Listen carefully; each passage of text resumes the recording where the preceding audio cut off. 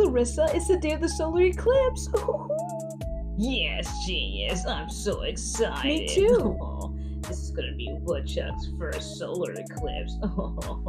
so, I got the glasses, snacks, drinks, and chairs. Here you go. cool, thanks. Man, I'm so happy and relieved work was closed today. Didn't want to hear anything about those customers at all. Me too, sis. Me too.